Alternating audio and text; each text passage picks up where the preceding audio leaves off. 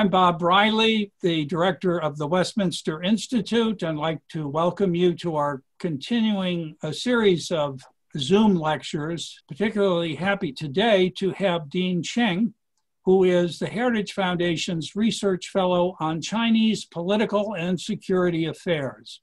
He specializes in China's military and foreign policy, in particular, its relationship with the rest of Asia and the United States. He is fluent in Chinese and uses Chinese language materials regularly in his work.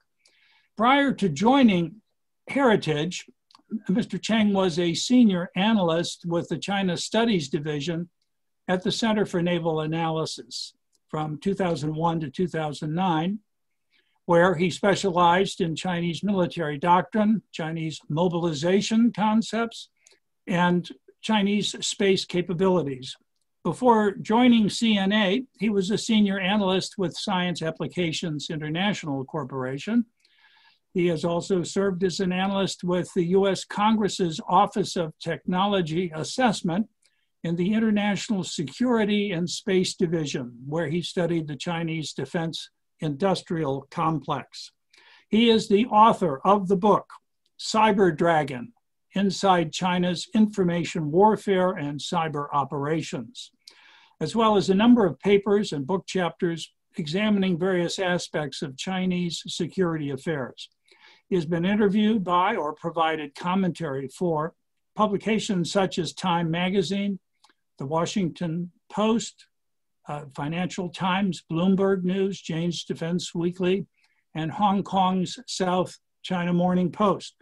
Mr. Cheng earned a bachelor's degree in politics from Princeton University and has done doctoral studies at MIT. Today, Mr. Cheng will lay out the context of how China sees the world and a more general appraisal of China's military buildup and the role it plays in China's overall strategy. Welcome, Mr. Cheng. Thank you very much for having me. And my appreciation to you and the Westminster Institute for the opportunity to be here today. So, my comments today are going to try and provide you with some context uh, about both how does China view the world, and therefore how should we be thinking about China.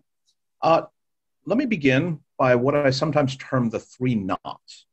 Uh, why Asia is not Europe, why China is not the Soviet Union, and why this is not your father's People's Liberation Army. So, to begin with, why Asia is not Europe, it's important to recognize to begin with that the Cold War hasn't ended.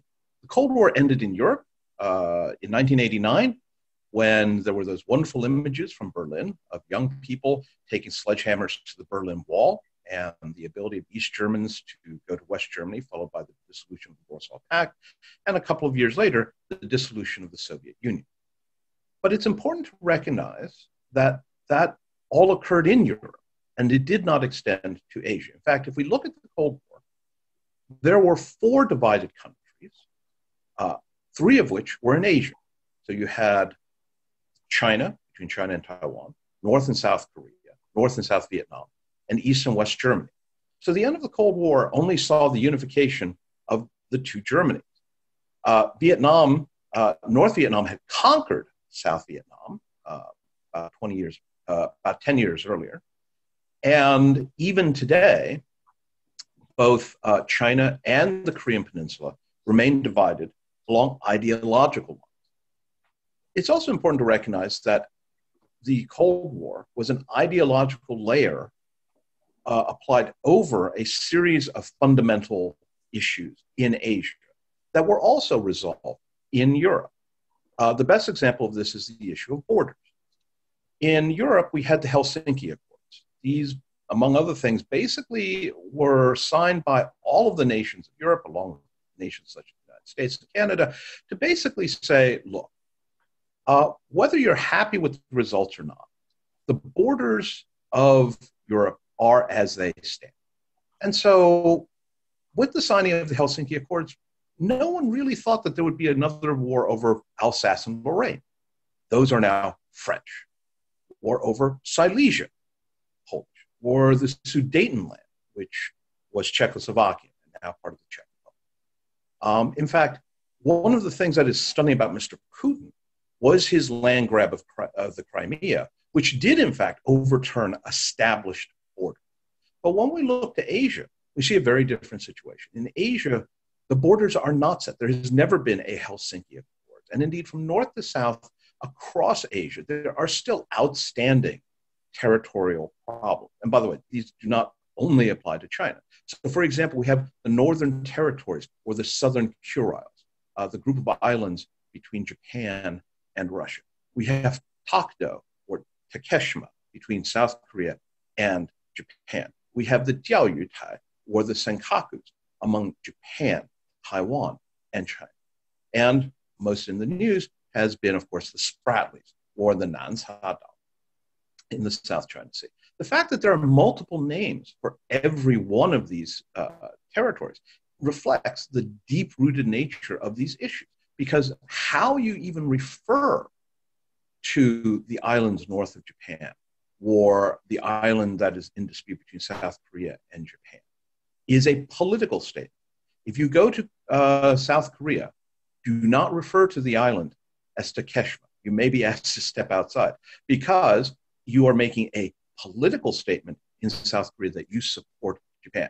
That may be inadvertent. That's not necessarily how they will take it. As a consequence of this, um, in Asia, you don't see overarching regional architectures, economic or security.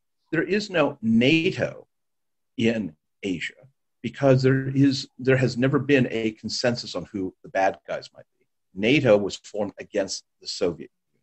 But again, South Korea and Japan are at least as suspicious of each other as they are of even North Korea or Russia or China.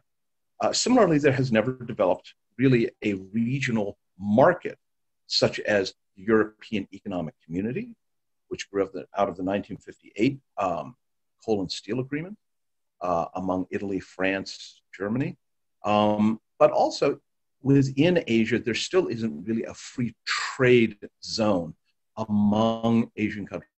There are a number of bilateral agreements, but in the main, Asian countries still have tariffs, still have non tariff barriers to each other. Another vital difference between Asia and Europe, which really defines how this each region looks at itself and also how China looks, is the fact that Europe has always had balance of power politics since the Treaty of Westphalia made the nation state the centerpiece of European relations. Uh, whether it was the rise of Napoleon, the rise of Hitler, the rise of Kaiser, the rise of the Soviet Union, what you saw were a coalition of other major powers coming together to balance that hegemon, balance of power politics. Russia, Prussia, France, Spain, uh, Britain, uh, Sweden in some cases. Uh, all of these countries were playing, in a sense, musical chairs. Asia never saw them. When we look at 5,000 years of Asian history, we never see a Japan allying with the Vietnam against the Han Dynasty, or Koreans and Khmers coming together to face the Qing Dynasty. Instead, you had a single dominant hegemon, a central kingdom, if you will, which really is what Zhongguo is. Zhongguo is how China refers to itself. It's typically translated as the Middle Kingdom, but it could also be translated as the Central Kingdom. And then along its periphery were tributary states, nations that did not balance against China, but bandwagoned with China and were at least as suspicious of each other as they ever were of China. And they gave tribute to that central hegemony. And that is a fundamentally different perspective about how international relations is supposed to work at all. It's not multiple major powers balancing against each other, it is smaller countries, in a sense, deferring to the single big country. So if Asia is not Europe, China is not the Soviet Union. The Soviet Union was, in many ways, our evil twin. Uh, if you are a Star Trek fan, you may recognize uh, the following reference it was Spock with a beard. Um, the Soviet Union, like the United States, was a global power, and we each had a messianic ideology. We wanted to bring the benefits of capitalist democracy to the rest of the world. the Soviets wanted to bring the benefits of centralized economic planning, socialism, uh, and authoritarian government under a Leninist vanguard party to the rest of the world. Each felt that the entire planet was part of the battleground, but also was suitable. We wanted to make other countries, whether they were Brazil or Bangladesh, like us, and the Soviets wanted to make, whether it was Sudan or Saudi Arabia, like them. Um, another important characteristic of the Soviet Union was that it was a military power and it prioritized military capability over all else. And it was a global military power. There were Soviet forces in Angola, in Cuba, uh, in Vietnam. Soviet Navy had bases across Africa, in the Mediterranean. It was a very military heavy focus. It was very econ light. The Soviet Union didn't trade with too many other countries, and frankly, it didn't have to. It traded with Eastern Europe for political reasons, to keep the East Germanys and the Czechoslovakias tied to Moscow, much more so than to derive economic benefit. China is different in every one of these characteristics. To begin with, while it has a large military and is steadily modernizing, it is still a regional military. The focus of the Chinese military, which we'll get to in a little bit, is on local contingencies, those very close to China's border. Second of all, is that China today doesn't really have that much of an ideology. Certainly, it's not messianic the People's Republic of China, the Chinese Communist Party, are not trying to remake the world into little CCPs. Uh, China will trade with any country. China will have diplomatic relations with any other country. Its conditions are much more political, things like you can't recognize Taiwan, than they are ideological. You want to be capitalist? We'll sell you the tools to be a successful capitalist country. You want to be socialist? We'll sell you the tools to be a socialist country. You want to be a single dictatorship? We'll trade with you there as well. China is not interested so much in exporting dialectics as it is in exporting t shirts, washing machines, and computers. Again, a fundamental difference from the Soviet Union. And that last aspect there is, of course, most important of all. China is an economic superpower. As it turns out, the Soviet Union's economy was actually never as large as we thought it was. China's economy is probably about where we estimate it to be, about 60, 75% at this point of the American economy. It is a huge trading nation, way, in the way the Soviets were not. So, in every one of these aspects, then, China really you know, is not simply another large communist country that doesn't use the English alphabet. Um, it is instead a major power coming from a fundamentally different tradition. And that tradition, again, is in part, as I said, not European, but also it is marked not only by thousands of years of being the central power of Asia, but is marked by the century of humiliation when it was subjugated and nearly colonized by a largely European dominated international system. And here, the century of humiliation is the second major characteristic that helps define how China looks at the world. From 1839 to 1949, China went from being top dog, if you will, to the sick man of Asia. And what happened during that century? Well, in 1839, China fought the first Opium War against Great Britain.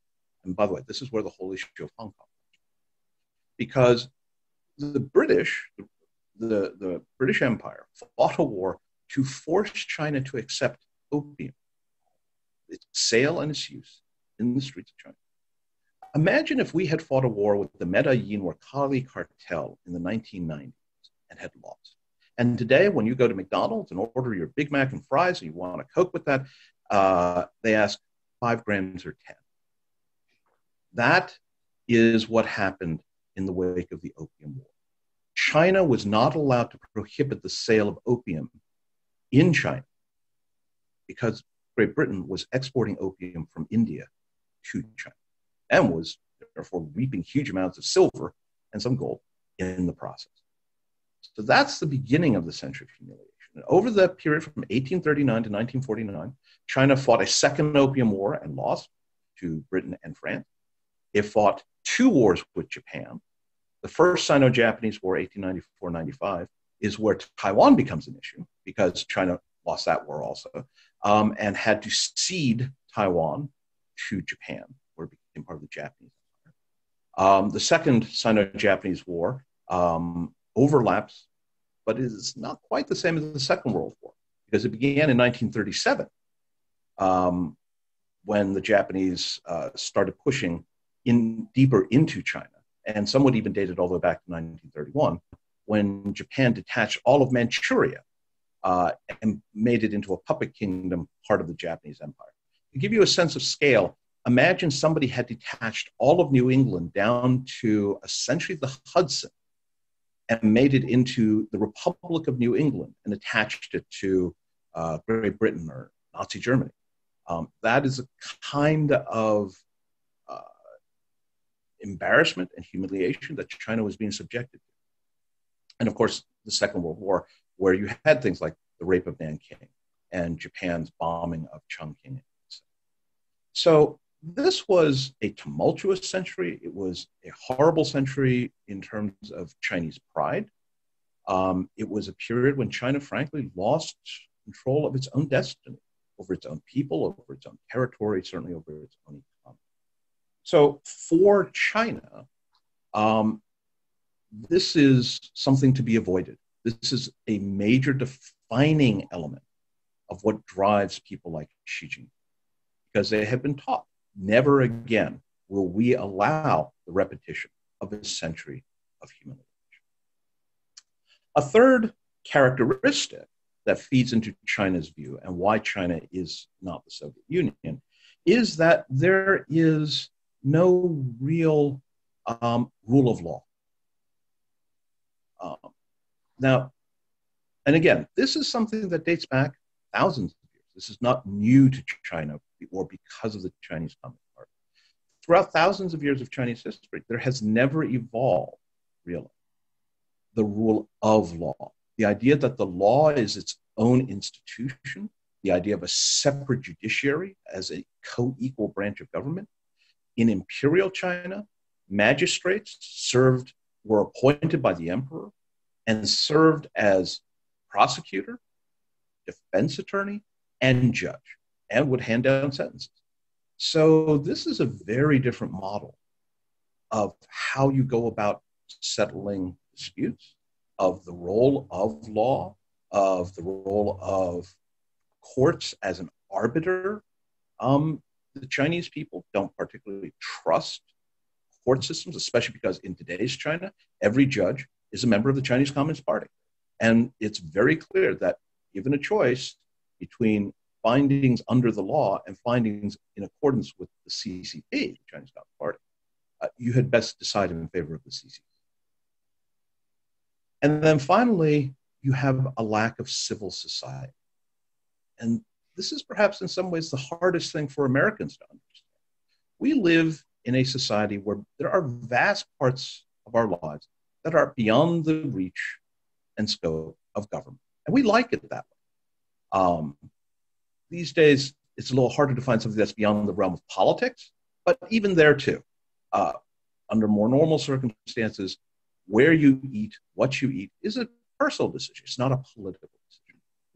In China, nothing is beyond the reach of the Chinese Communist Party. No company, no religious organization, no sports league, no non governmental organization. The Chinese Communist Party itself will often say, where there are three people, there should be a party member present. And so we see efforts to insert the CCP into the functioning of churches. Uh, the Catholic Church has been fighting this battle now for, for quite some time. Um, the Chinese dangle the idea of, well, maybe we'll let you do a little more proselytizing, even as they also make very clear, but what you proselytize, what you, uh, you know, what your messages must be acceptable to the party. Um, and this is also why Chinese companies Chinese students, Chinese academics, Chinese businessmen can, and under Chinese law, can be made to provide information about their customers, about their contracts, about the data that sits on their servers can be compelled to become spies, even if that's not what they were when they first showed up at your business or at your university. So, all of this is to indicate how fundamentally different China looks at the world, different from us, different even from the Soviet Union, certainly different from Russia. A lot of this is encapsulated in the People's Liberation Army. This is the Chinese military. Um, even though it's People's Liberation Army, think of it more as People's Liberation Military because it encompasses the ground forces, the air forces, the Navy, and the missile and nuclear. So, two things to keep in mind about today's PLA. The first is that this is not a national military. The People's Liberation Army is a party army. It is the armed wing of the Chinese Communist Party. And every officer in the PLA is a member of the CCP. For those of you who have served in our, our armed forces, um, I'm sure you remember your oath. It is to uphold, protect, and defend the Constitution of the United States. It, without regard to party, without regard to who is president, that is what you are upholding. And your lawful orders are that they be consistent with our Constitution and the laws of Hong Kong. Your Chinese counterparts swear a oath to uphold the rule of the CCP. And so in 1989, when the Chinese military was ordered to roll into the streets of Beijing, and we had the Tiananmen massacre, that was a lawful order in the Chinese context because it was an order that went to party members of the armed wing of the CCP to suppress a threat to CCP rule. The other thing to keep in mind is that this is not your father's People's Liberation Army. This is no longer a military that believes that you will run out of bullets or AMRAAMs or harpoons or Mark 48 torpedoes before they run out of bodies. Instead, this is a military that has paid very close attention to other people's wars and has come to the conclusion that future wars will be based not on quantity, although quantity matters, but as much on quality quality of personnel and level of sophistication of their equipment and weapons. And this is an enormous shift from the PLA of that went to war in Korea or against India in 1962 or even against Vietnam in 1979, which is the last time the Chinese military fought a war at all. Uh, this is a military that instead has basically been saying we need to become more sophisticated, we need to incorporate more technology. And its doctrine has evolved. Its doctrine has gone from, again, mass quantities of poorly armed troops to what they term joint operations. But their version of joint operations is different from ours. When we think about joint operations, we tend to think about different services operating together the Army and the Air Force, the Navy and the Army, the Air Force and the Marine. For the People's Liberation Army, joint operations is about operating across multiple domains land, sea, and air, outer space, and the electromagnetic domain, which includes but is not limited to cyberspace. This is a very different approach. It comes out of watching how we, the United States, have fought most of our wars. They consider our military to be the gold standard. And so they see how we are able to operate across vast distances, hundreds of thousands of square miles, coordinating carrier task forces, submarines launching cruise missiles, uh, special operations forces, armored divisions. And their conclusion from watching this is that the key to future warfare is the ability to create shared situational awareness to have the various participating forces know where they're where each other are, where the enemy is, and how to bring kinetic force, but also electromagnetic force, electronic warfare, cyber warfare, to bear against the adversary. And so this is a very different approach. The PLA hasn't fought a war since 1979, but it has been slowly evolving its military forces in this direction. One of the key things that uh, in at the end of 2015, the People's Liberation Army underwent a massive evolution, uh, huge changes, changes not seen, frankly, since the founding of the PLA back in 1927. And one of those changes was the creation of a new service, what is termed the PLA Strategic Support Force. And what it did was it brought together China's electronic warfare forces, people who do things like jam radars and radios, network warfare forces, which includes cyber warfare capabilities, hacking, but is more than that. They can also disrupt other networks, power networks, energy networks, transportation networks, um, and their space forces. Uh, and they brought them all into a single service because to the PLA, all of these are capabilities that really revolve around information the ability to gather information, the ability to transmit information, the ability to exploit information. Because for, for the PLA, the ability to establish what they term information dominance, the ability to gather, to transmit, and to exploit more rapidly and more accurately than your adversary, while also preventing your adversary from doing all of those things, is the key to winning future. So the Chinese basically have organizationally put their money where their mouth is. They said, you know what? Winning the next war is going to require information dominance, and we're going to create a service whose job is to go after achieving information dominance. So, looking at this very different regional context, this very different national context, with this evolving military, what is it that China wants?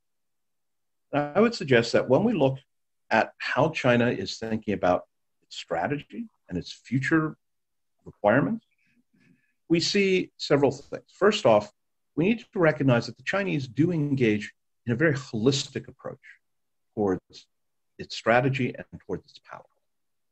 Um, the Chinese are not pursuing a military strategy. They're not pursuing an economic strategy. They're not pursuing a diplomatic strategy. They're pursuing all of these. This is part of what the Chinese term comprehensive national power. Comprehensive national power basically is how do nations rack and stack? How do you compare a Brazil, a France, a Colombia, and with a China, a Thailand, a United States? And the answer is all of these pieces matter. Military capability is fairly self evident. Uh, you can't defend yourself, you're not a great power. But military power by itself is insufficient. Look at what happened to the Soviet Union. It collapsed despite spending huge amounts. Economic power is therefore important. But economic power by itself doesn't necessarily get you respect. So, what else do you need? You need to be politically unified. This is one of the reasons why Taiwan is such an issue.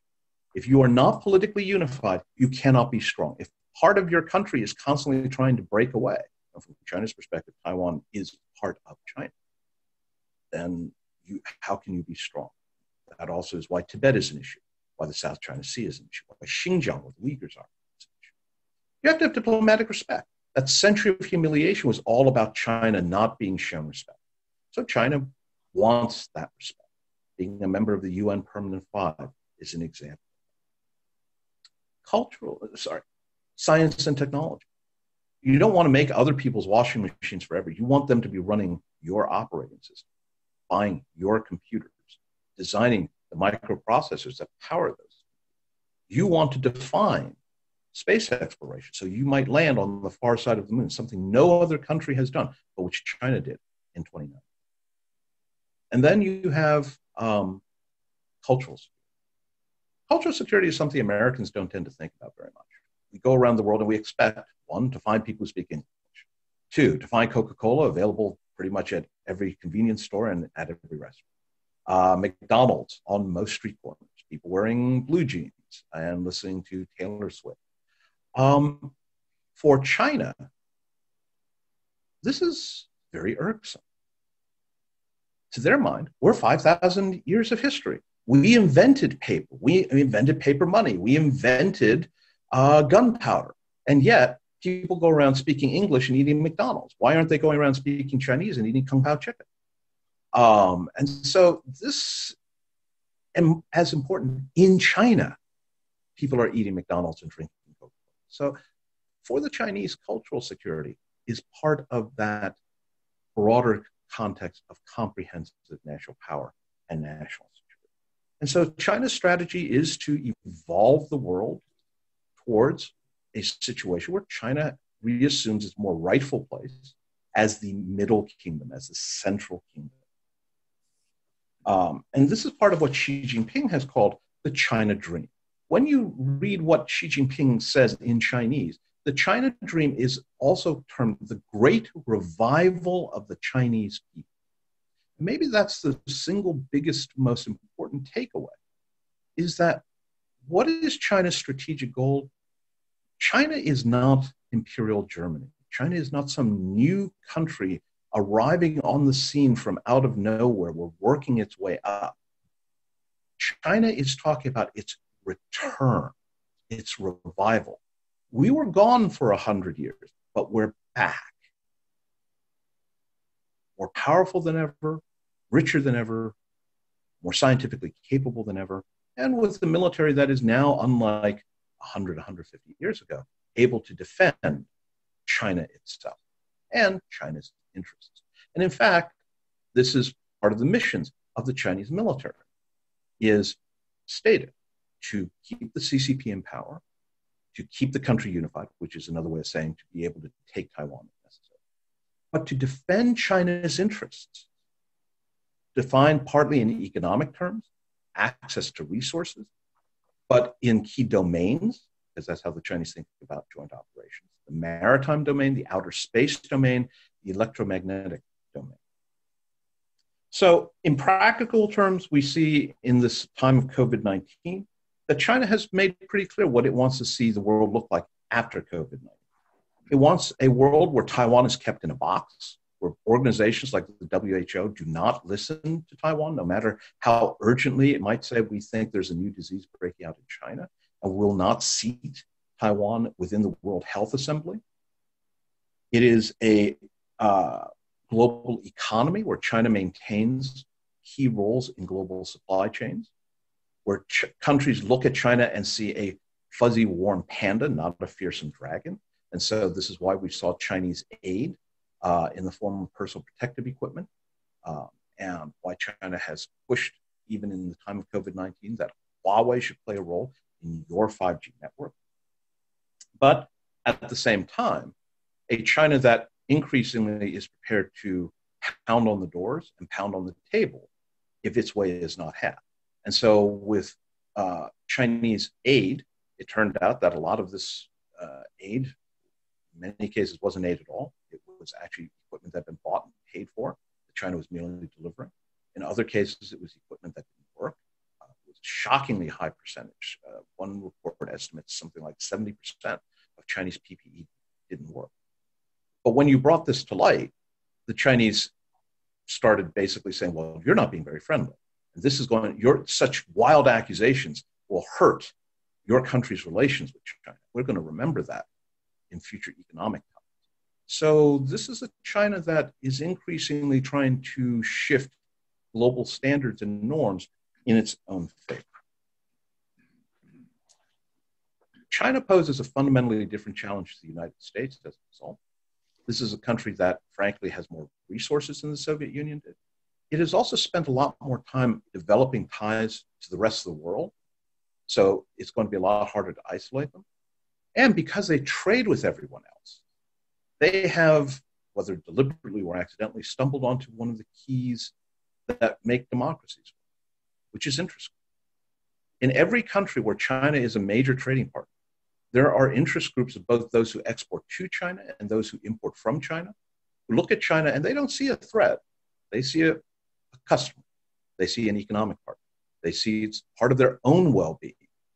And so, figuring out how to work with a country that is intimately tied up into our supply chains and everyone else, that is diplomatically well connected, that is not trying to push an ideology, is not trying to remake other countries into China's own likeness, but will defer to China's key interests, such as on Taiwan, is going to be the challenge of the coming decade and is going to be requiring a lot smarter, well rounded, holistic thinking than we had to bring to bear when we fought and won the war. Thank you very much for the opportunity to speak.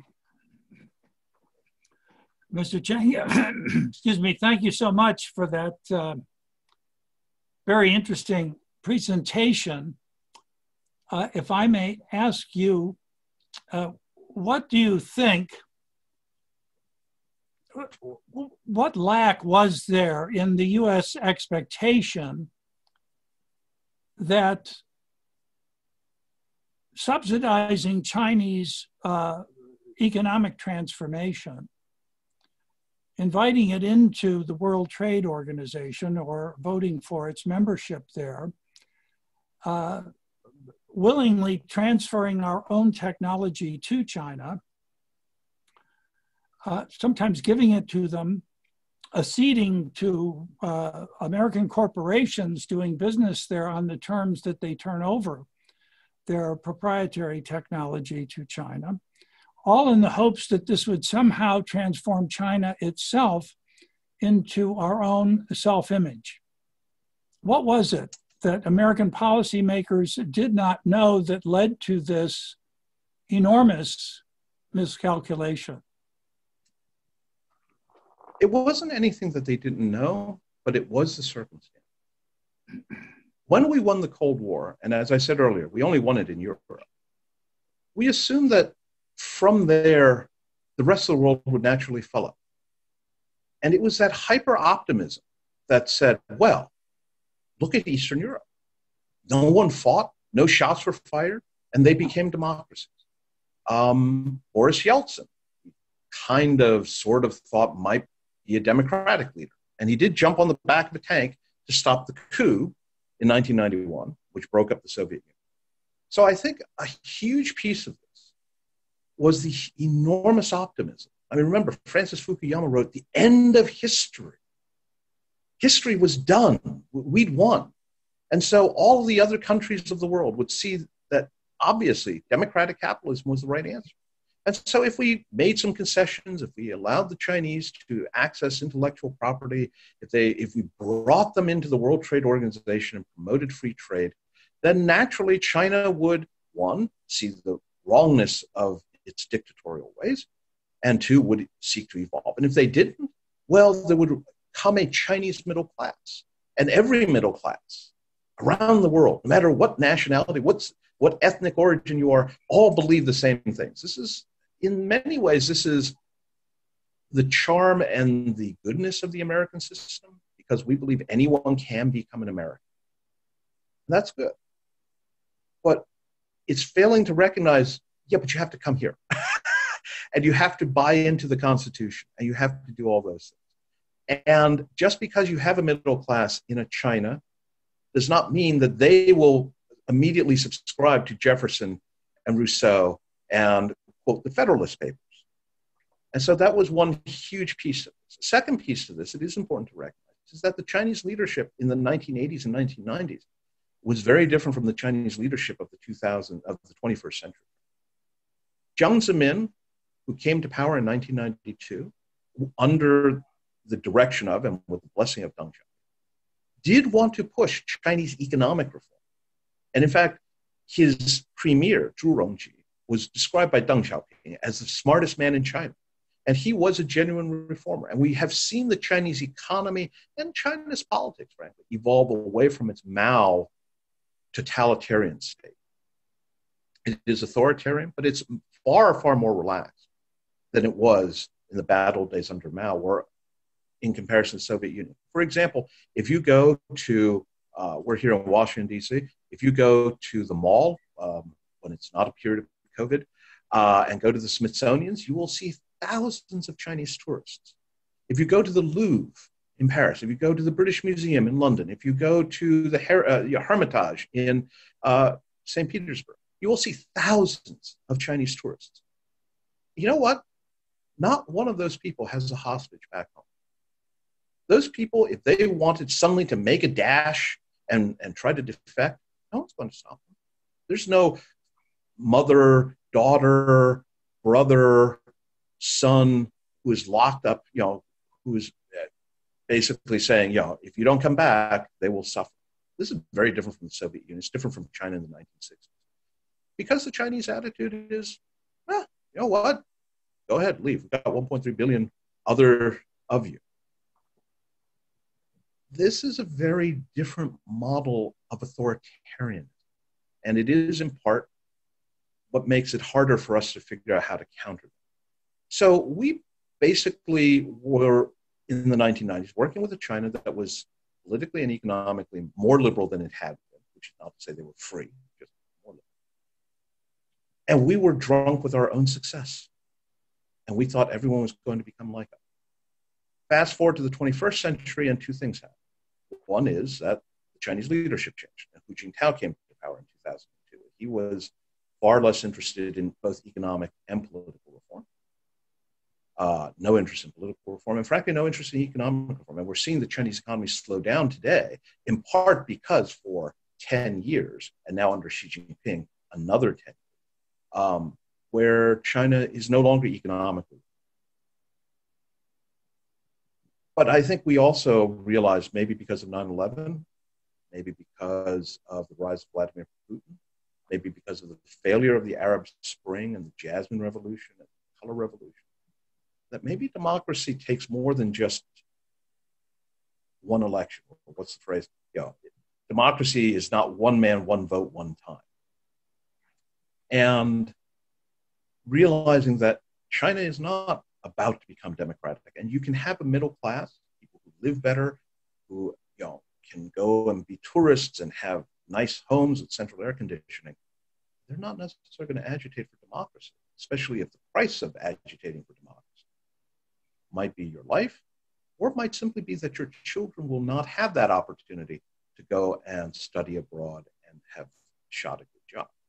So I think it's easy to sort of say, look, we made, you know, what was the one or two big mistakes we made? It was a lot of mistakes by a lot of people, understandable in many cases. That's what makes it a Greek tragedy in many, many ways, because it could have been different, maybe, but it would have required us to understand where things really were and not how we wanted let me ask you, in the way in which you uh, describe China today, how do you account for President Xi's uh, renewed emphasis on insistence on Marxism, Leninism as the animating ideology, uh, and special instruction to CCP members to ensure that they are indoctrinated with this ideology? And along with it, of course, uh, a, a rather active repression of religious groups. This all seems to uh, cohere with what we normally understand a Marxist Leninist party uh, behavior. Well, I think part of that unfortunate hyper optimism that we saw in the 90s and early 2000s was also this idea, and you saw this in places like the New York Times, that oh, the Chinese Communist Party today is a lot like uh, private clubs. It's really a, where businessmen get together to cut deals. And that was a fundamental misunderstanding of the role and reality of the CCP. The CCP in China may not be messianic, it may not be trying to spread its ideology outside of China's borders, but it has never, ever stopped being a Marxist Leninist party at home. First off, there are no other parties in China. The thing to keep in mind here is that the Chinese Communist Party today is not so much Marxist, by which I mean from each according to their ability, let's, you know, sort of uh, to each according to their needs, let's not have much in the way of, of you know, separation, you know, sort of, uh, social, in, uh, financial inequality. China has several hundred billionaires, several thousand millionaires and three to 400 million people living on roughly $3 a day. This is not an equal society. So the CCP is a Marxist Leninist party. What was it that makes it Leninist? It is a vanguard party. It is what will lead the Chinese people into the future. It is the only source of political legitimacy and authority. And it, that has never, ever changed. Not Mao, not Deng, not Jiang Zemin, not Hu Jintao, not Xi Jinping. It's just that under Jiang Zemin, they talk less about it. And Jiang Zemin said, by the way, if you're a businessman, come on into the party. We welcome you into the party. Bring your stuff, bring your money. We're not going to take it from you. And they didn't. They said, you know what? You can be a millionaire and be a member of the party. Great. And that was, again, part of our miscalculation. We saw that we said, oh, you know what's going to happen? Those business people will change the party. They will make the party more open because they're going to want to protect their resources. They will get the CCP to help invest in places. What actually happened was the CCP brought them into the party and said, now that you're a member of the party, we're going to watch you because that's what we do. And so, under Hu Jintao, as I said, we have seen a slowdown, frankly, an end to economic reform. And the business people were allowed to still keep on making money as long as they understood where political power. And that, again, was sort of a salami slice. It's like, all right, uh, I can understand that. And under Xi Jinping, what we have seen is an open set of attacks upon business people. Anbang Insurance, Dalian Wanda Industries. These are major conglomerates in China whose leaders have either been replaced been encouraged to retire or have otherwise been made very clear to them you're a potential challenge to the power of the party. It's time for you to step aside and for your industrial economic conglomerate to be broken up. Now, Xi is doing this not so much, partly out of his own personal authority. He is probably the single most powerful leader in China since Deng Xiaoping. He uses the context of Marxism Leninism, but above all, Leninism, the only source of power, to then crack down on all of the other potential places of dissent within China. So there have been regulations that have gone out to the military saying, remember, the party has absolute leadership over you, the military. It cracks down on religion because, as I said earlier, there is no room for civil society. There is no room for a sphere beyond the reach of the party. Your conscience is not your own. Your conscience belongs to the party, or at least loyalty to the party.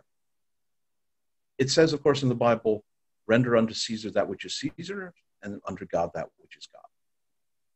In Xi Jinping's China, there is no separation. There is no realm that is beyond the reach of Caesar or Xi Jinping. Um,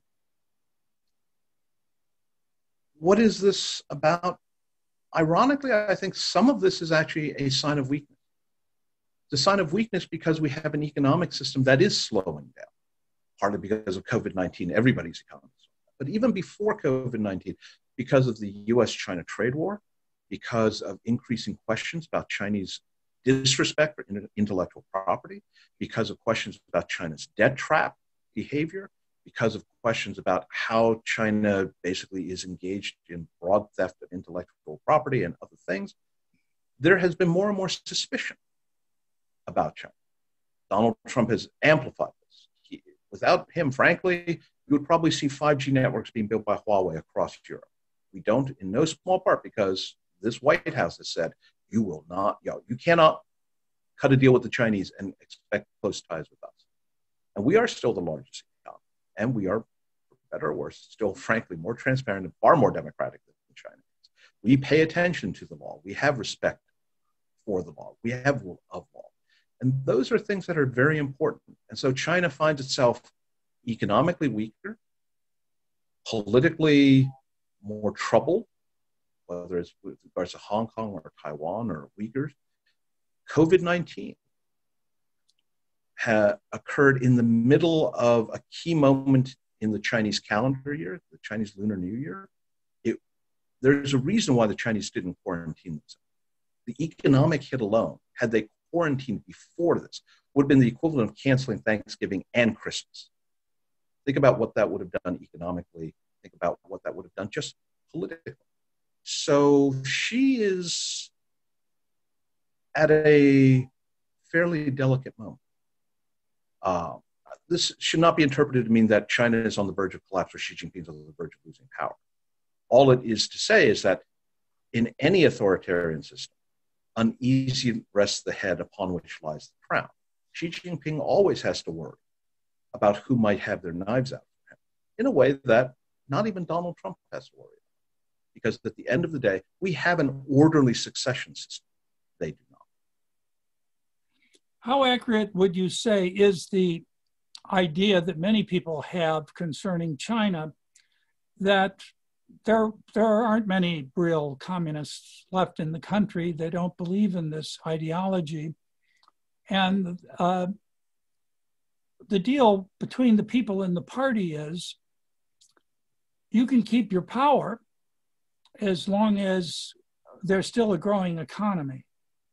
If we get richer, uh, you can get more powerful or keep the power you have. But should the economy, uh, if you can't keep your side of the bargain, uh, that that uh, undermines this arrangement, and uh, then your power is vulnerable. Do you think that's true? I think that it is true. I think it's somewhat simplified because there are multiple things that keep any group in power, including the Chinese Communist Party. But what I have said in the past elsewhere is that, in a sense, the CCP is experiencing what it's like to go from a tricycle to a bicycle to a unicycle. Uh, in 1949, when, this, when Mao Zedong stands atop Tiananmen Square and waves his hands, uh, you know, announcing the creation of the People's Republic of China, there were three things that he could point to to say, this is why we're in charge. One, we are communists. It's the Marxist part of Marxist Leninism. We will end landlords. We will make people you know, more equal. We will redistribute. We will create communism. Second, you will live better, just regardless of the economic system, you will live better. And third, we drove the foreigners out, especially the Japanese, but also all those colonialists and all those Brits and Americans, etc. So that's 1949. Fast forward about 70 years, and what do we see? Well, first off, as I said earlier, inequality is through the roof. It's probably as bad, if not in some ways worse than it was back in 1949. So it went from three wheels, three bases of support, tricycle to bicycle. Okay. Will you live better than your children? The CCP actually delivered on that relative to 1949. In 1949, the estimate is that 80% of Chinese people were illiterate. 80%. Today, I think most people would agree that China is like 95% literate. And in a society and a culture that values education, that's huge. Where the path to advancement is through education, that's huge. But in today's China, if you live in the wrong place, you are breathing air. I had a colleague who was stationed in China for two years. After six months, he came back to the United States for a medical checkup. And his doctor looked at him and said, You know, Bill, I'm really disappointed in you. Said, Why? I, I would think you're smart enough not to take up smoking, man, at your age. I said, Doc, I, I'm not smoking. He said, Looking at your lungs, you look like a one to two and a pack a day smoker. That's the quality of the air in China. So, are you living better? Well, maybe, but maybe your children have emphysema. Maybe you are eating food that has high mercury and heavy metal content. Uh, maybe you're you know, living in substandard housing where your chances of improving are very limited. So let's say that the front wheel of that bicycle is awfully soft and leaky. Now, this is the third part. This is why the third part is important. Why Taiwan cannot ever be allowed to go independent. Why you have to suppress the Uyghurs in Xinjiang and elsewhere is yes, but we drove the foreigners out. We made China strong. And China is strong because of we, the CCP. And we land people on the far side of the moon, and we have naval exercises in the Mediterranean and the Baltic, which has never occurred in human history before because we are strong. So there are attacks, there are erosions on the legitimacy of the CCP across all three wheels, one of which is thoroughly flat and one of which is pretty soft and wobbly. Um, are there people who believe? Yes, I think there are. I think there are people who believe, and I think there are party members who believe. But belief only gets you so far. It's been said that no country is more than three meals away from revolution. One of the really interesting things right now in China is food prices are going up. because there are a number of pests and diseases that are affecting food prices in China. So even people who believe if they can't get pork, which is the staple meat, they can't get vegetables, which is the centerpiece of Chinese food, because of diseases and things that are affecting China's pig herds and vegetable gardens. That, that faith and belief will only get you so far. And that is absolutely something that the CCP is terrified. Well, Adine, how powerful a glue is na- excuse me is nationalism today in China, and um, is it is it strong enough that uh, President Xi's program to restore China? It's more than a restoration when you claim sovereignty over the entire most of the South China Sea. That's an extraordinarily aggressive act. Uh, it, it is plus the the armed conflict on the border with India, uh, and and you mentioned the crackdown in uh, Xinjiang and uh, Mongolia. Uh, is is this all playing to the a strong sense of nationalism in the Chinese people, or at least in the Han Chinese? In the Chinese people, not just the Han Chinese. Yes, absolutely.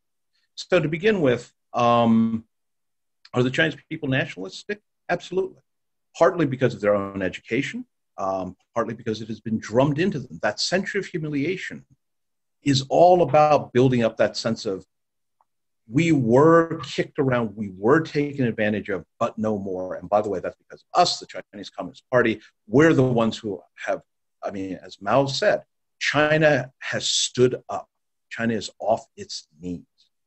Um, when we look at all of the various regions that you ticked off, as an American, as an outsider, we look at this and we say, how in the world do you claim the South China Sea, which is a thousand, fifteen hundred miles from your shores?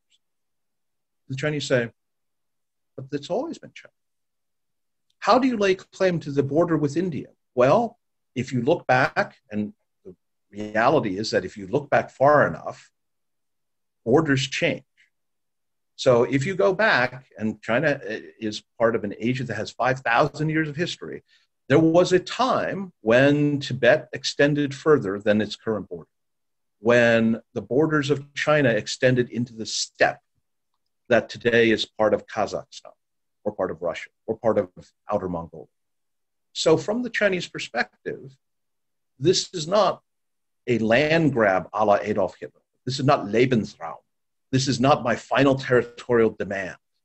This is restoring China's historic border. Now, I'm not saying that that's a correct interpretation, but I'm saying that from the Chinese perspective, it is not an incorrect.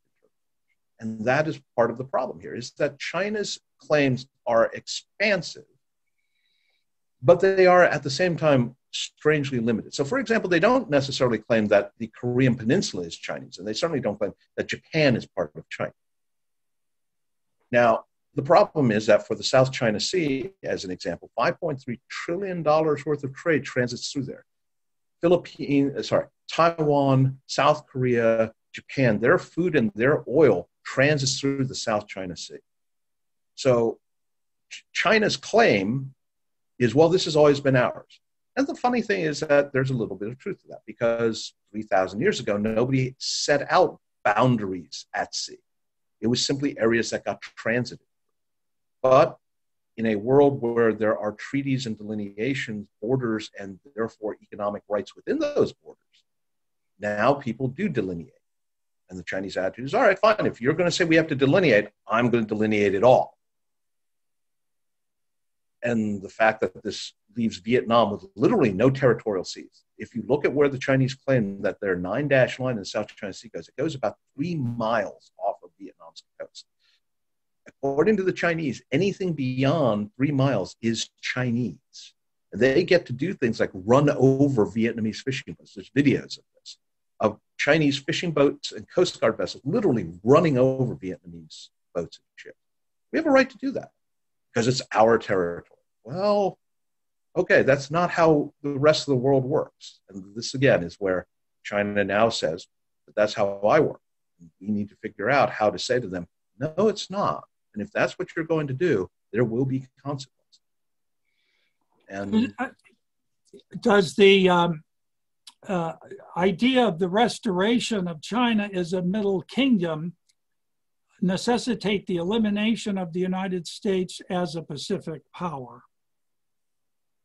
So the story goes, I don't know if this is true, that um, Xi Jinping supposedly said to President Obama, Tell you what, we'll draw a line at Guam, and you can have everything east of Guam, and we'll have everything west of Guam.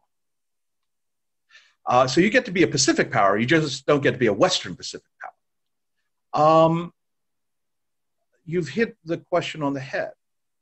The US has very few direct territorial or, or other issues with China. We have them in space, we have them in cyberspace, but physically on the ground, we don't touch China.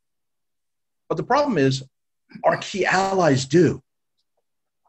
And that's Japan, and that's the Philippines, and that's South Korea, and that's to a lesser extent Australia and New Zealand in terms of they don't touch China. But China's actions very clearly affect their sovereignty. And Thailand, which again doesn't touch China, but their interests brush up against them. And a China that dominates Asia is fundamentally against America's interests and has been since the founding of the Republic. The very first ship flying an American flag to leave an American port was a U.S. merchant ship on its way to China as part of the tea trade. I believe, in fact, it was called the Empress of China, left Baltimore Harbor. Um, we have always seen Asia as a region that we could not afford to allow a single country to dominate. Now, the unfortunate reality is American history is about 200 and you know 20 years and that mostly overlaps with China's century of humiliation. So, our normal setting for Asia is an Asia that did not have a single dominant power. There was a rivalry there, and we actually wanted to keep China intact. This was the open door policy of John Hay. China says, yeah, but that's the exception. For 4,900 years, we were the top dog. We were the dominant power, the central kingdom, the middle kingdom. And your normal is our abnormal.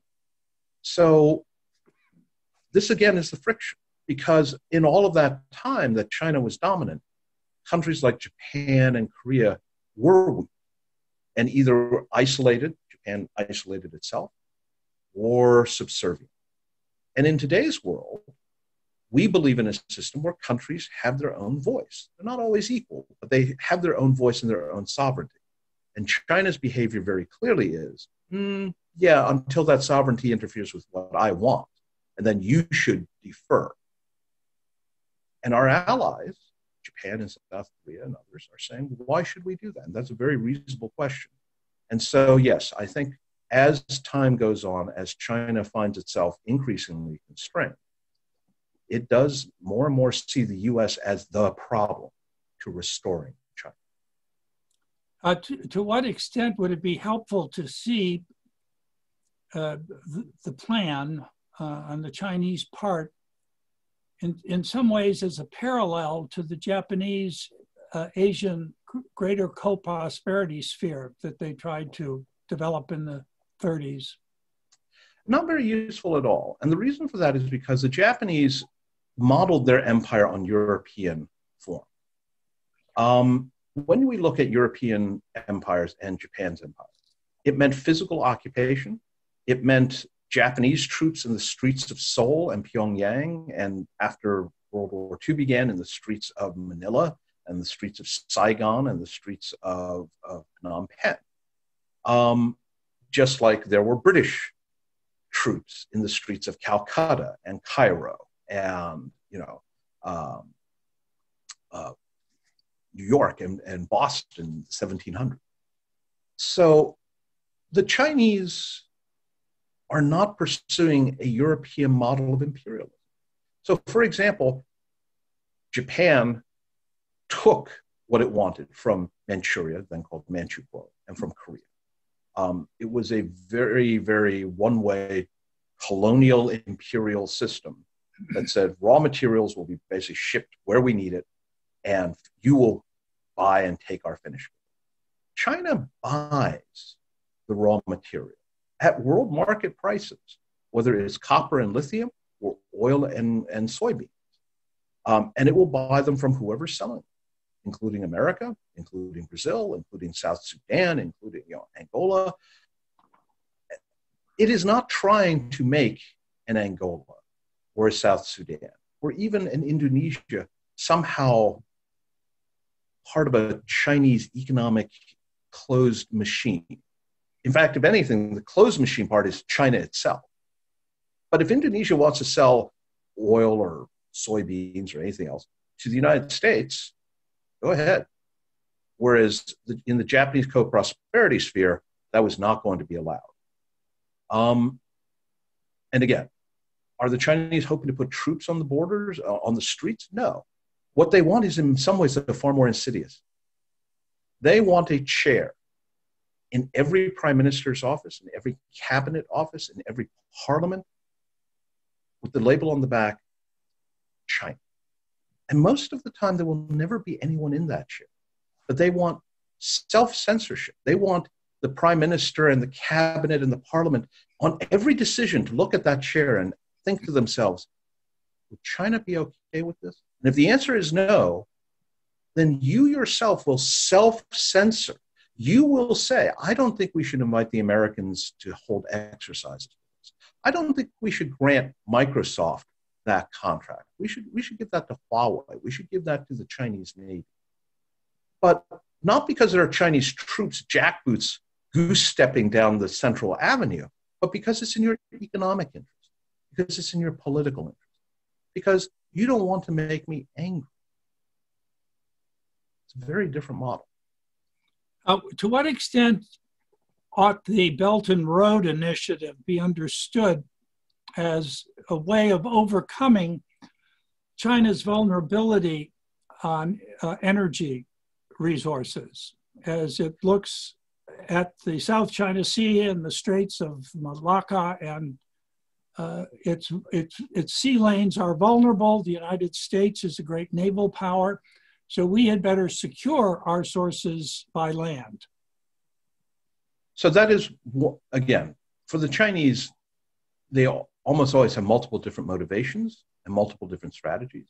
So the Belt and Road Initiative is partly an effort to secure resources. Hydrocarbons is one, oil, uh, natural gas. It's also an attempt to uh, secure raw materials from places like Central Asia, food. China is a net importer of food, we forget that. Uh, it's also a jobs program for the Chinese. Um, at one point, China had enough manufactured steel just sitting in stockpiles that if the entire rest of the planet had shut down all of its steel mills, I'm talking about steel mills in Austria, in Brazil, in Alabama, had all shut down. China could have supplied the entire planetary demand for steel for over a year. So, Belt and Road Initiative is partly a jobs program for China's steel mills and cement plants because it has huge overcapacity, and that's a lot of good jobs. And China has built most of the stuff it wants to build at home.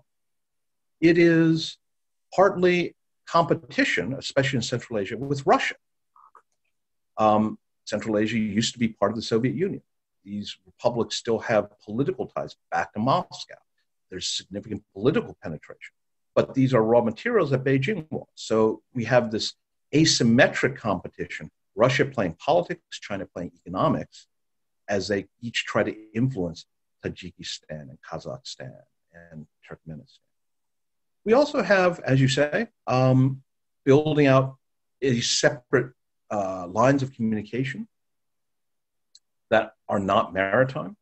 So eventually you will be able to ship goods to Europe and raw materials from Central Asia, but also raw materials and component parts from Europe by train entirely without ever having to put them on board merchant ship.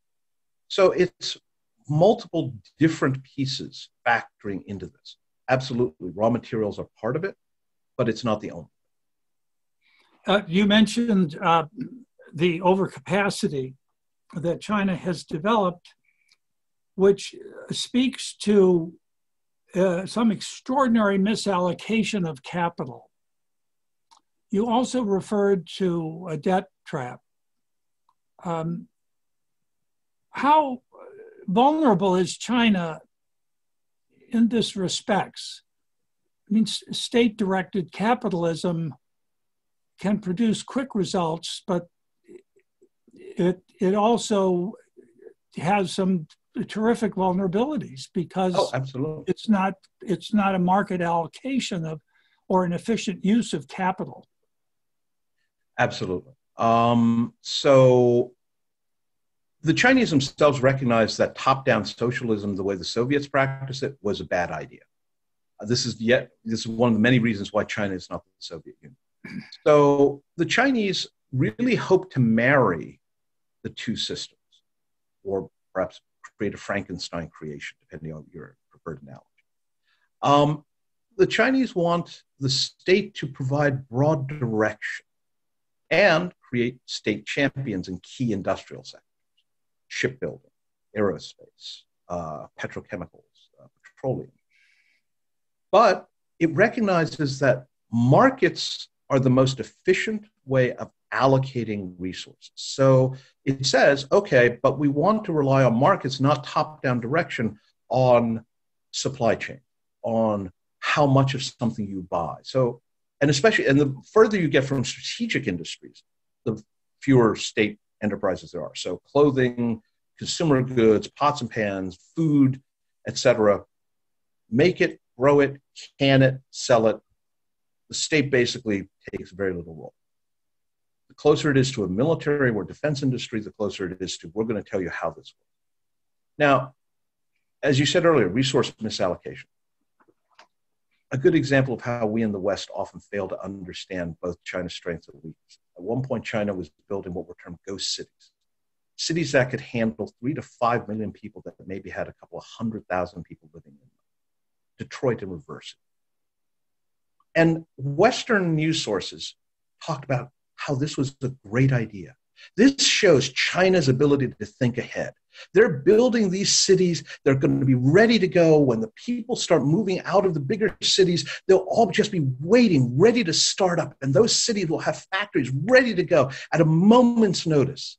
Isn't this so much better than Western capitalism? No, it's not. It's called stupidity. Okay?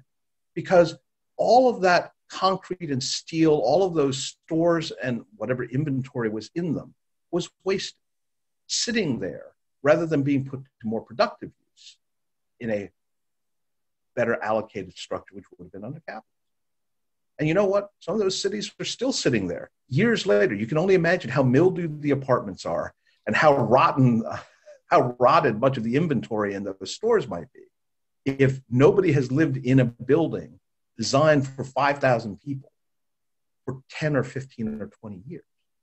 So, absolutely, the Chinese approach is to, in their mind, we can be smarter than capitalism.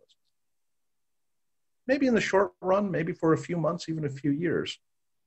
But, and this is part of the problem with the lack of economic under Jiang Zemin, under Zhu Rongji, you really did see the Chinese try to shift heavily towards a more capitalist system that said, okay, for a very small number of industries that are militarily focused, we'll, we will have the state, and everything else will be liberal. Instead, what we have seen is for a whole lot of industries, the state plays a key role. The state picks winners and losers. The state says, at the end of the day, you will be our preferred choice, usually not for economic reasons. And more efficient producers, private companies, get swallowed up or get denied capital and go bankrupt. Or, and by the way, their intellectual property is handed back to the state, or are otherwise unable to really flourish. Now, the Soviet Union survived with even more incompetent economic planning for 70 plus years. So people should not be expecting that China is about to economically collapse. Um, that's not what I'm saying. What I am saying is that China could be much more efficient. That's scary. Um, and in some ways, we're lucky that they're not being as liberal could. Uh, could we talk just a moment about Chinese military modernization and sure. what it's and what it's for? Uh, you seem to be saying that the principal objective of China is economic dominance, uh, which can be expressed in a, a number of other ways, diplomatically, culturally, etc. Uh, within that perspective, is the modernized military simply a shield behind which this economic uh, dominance will develop? Or is there some other way in which we should be thinking of it? Well, if you're Taiwan, it's not a shield, it's absolutely a sword and a spear. Um, if you're India, you're increasingly seeing it as a sh- sword and a spear and a set of arrows. Um, if you're at Japan, you've always thought of it as a spear and a sword, dating back to the Mongol. Um, so, what I would say is that the Chinese see their military as defending China's interests, whether it is territorial interests, meaning places like Taiwan and the South China Sea and border with India, um, or its interests in outer space, or its interests in the cyber domain, electromagnetic domain. Now, protecting those interests, however, means, for example, being able to drive everybody else out of the South China Sea. So they may think of it as a shield, because this is just Chinese territory that we are defending. But to everybody else, including the United States, that's an awfully offensive approach. Um, again, if you are India, you are watching China steadily nibble away, salami slice away at the border, moving it towards where China thinks the border should be, which means losing multiple pieces of key Indian states to Chinese claim. Um, if you're the Russians, you look at China with some nervousness because large chunks of Siberia were once part of China. If you're Central Asian, large chunks of your country, which didn't really exist before 1989 or 1991, um, and for a long time were part of the Russian Empire. Before that, may have been once part of the Chinese Empire. So, is this defensive? Absolutely. From China's perspective, this is all defensive. This is all defending what was Chinese. But let me just note in the two key domains of outer space and the electromagnetic realm, including cyberspace, domains that never existed before. We see a very, very offensively oriented China. We see a China that is taking that, you know, in 2007 did an ASAT test that generated thousands of pieces of debris. A China that makes it very clear that it has the right to determine what appears on the internet around the world, that has redirected portions of the internet to China that had no business going to China. Um, it would be a, like imagine if you were back in the days when there was still airplane travel. Um, imagine if when you flew to London or you flew to Rome, your baggage would be redirected to Beijing. That is what the Chinese have done with the internet. They have redirected portions of global internet traffic through the equivalent of the air traffic control system, internet traffic control system, to shunt information flow to China for days and hours. Think about how much information. Information ranging from your dog or cat's vet report to your company's top marketing plans to blueprints for new equipment to military transport schedule redirected through Chinese manipulation of the internet, traffic control system to China. That is remarkably offensive. They would claim it defend. Well, first off, they would deny they had anything to do with it. But second of all, they would then say, "Well, we're just making sure that we're okay." Well, okay, but that's you've you've crossed the lines here. That's what China has done. Well, what what in light of all of this, uh, if I, we may close with the question, what do you think the United States ought to do uh, China has not been shy in saying uh, things like our development of hypersonic missiles makes your the United States' carrier task forces obsolete uh, because they can be taken out in uh, the wink of an eye. And since those are your principal means of projection of power uh, in the South China Seas and, and the Western Pacific, uh, you're, you're finished here.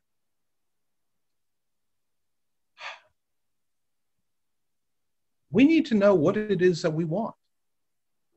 One of the things that is central to Chinese success is they know what they want. We seem to be having a lot of trouble deciding, for example, do we think China is a threat at all? And it would be, you, you and your audience may be surprised at the number of people who say, you shouldn't call China a threat. You shouldn't call China an adversary. That just is a self fulfilling prophecy. People who think that the national security strategy and national defense strategy of the Trump administration is one of the stupidest set of documents ever produced because we have said we are back in a period of great power competition and China and Russia are the threats. That's nonsense because that, that just makes China our enemy. China doesn't want to be our enemy. Well, okay, all right. If that's what you believe, what is the greatest national security threat? And if your belief, as in the previous administration, is global climate change, you will view China very differently. When the admiral in charge of our Pacific forces said three times to Congress and to the press, the greatest threat that I face is climate change.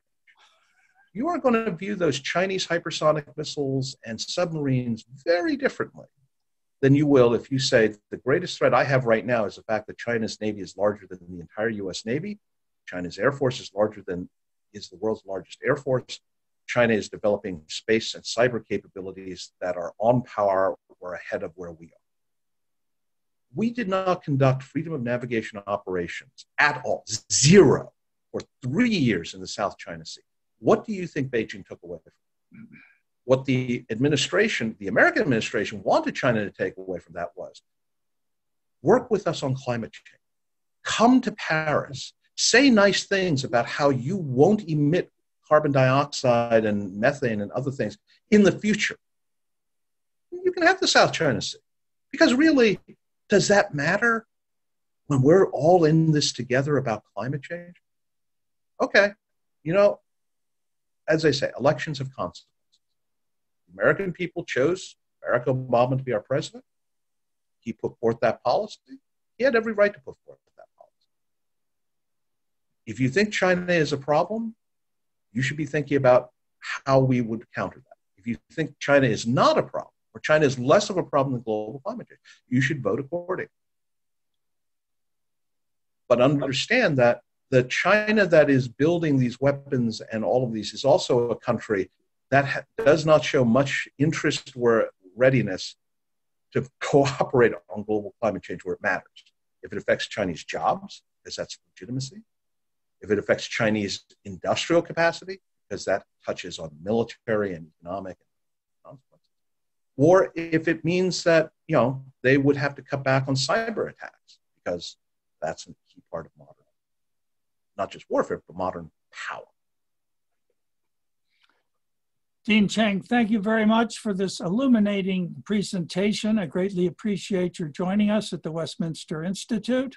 And I invite our audience uh, to share this video and also to go to the Westminster website where you'll see the other videos uh, concerning various other foreign policy issues as well as some on China itself. So thank you very much for joining us.